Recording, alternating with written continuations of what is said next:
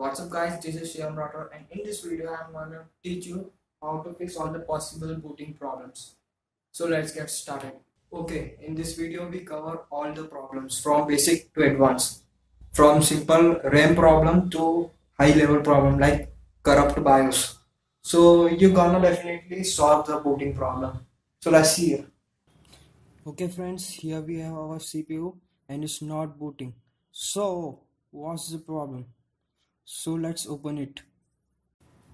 First of all, start unscrewing the bolts and here we have our all stuff. Next thing, start this diagnostic after removing the graphic card from your motherboard or otherwise it's difficult. Now it's time to check the power supply PSU. I am having the generic brand so the chances of failure is a lot. You can check it by simply pressing the power button. By this light on the motherboard, we can determine that the power supply is okay, but in some condition power supply fails to deliver enough power. So this can also be the case, but if you have branded power supply, so no need. Next thing to check is the RAM, random access memory. Just plug it out and start cleaning like this with the help of eraser.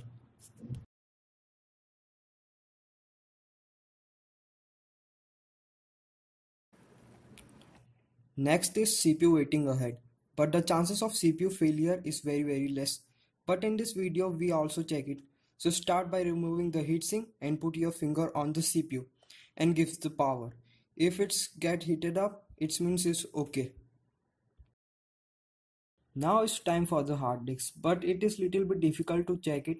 You can either check it by inserting it into the other computer or just put your hand on it and feels the spinning and heat of the disk. But this matter is not 100% correct or I am not sure if it's work for you also. The next thing is to test our CPU with the help of diagnostic card.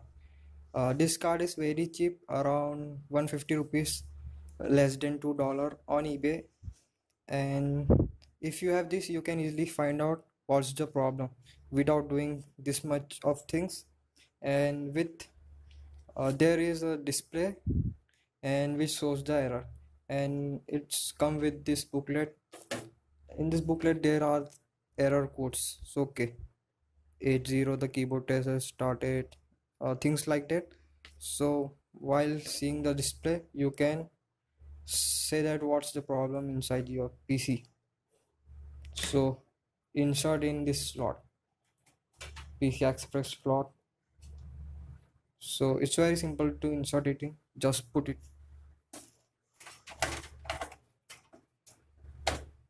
Okay.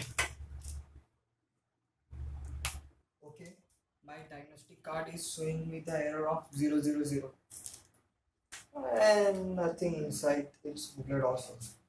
So it means that our BIOS is corrupted and this is the last method of our diagnostic. If it's also not work, you should probably go to service center. okay for resetting the bios you just need to remove this cell from here Uh,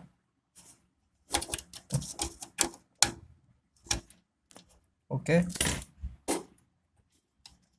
after removing this cell from that place just put it aside and just and just power on your pc okay let's start it. Just click on the button.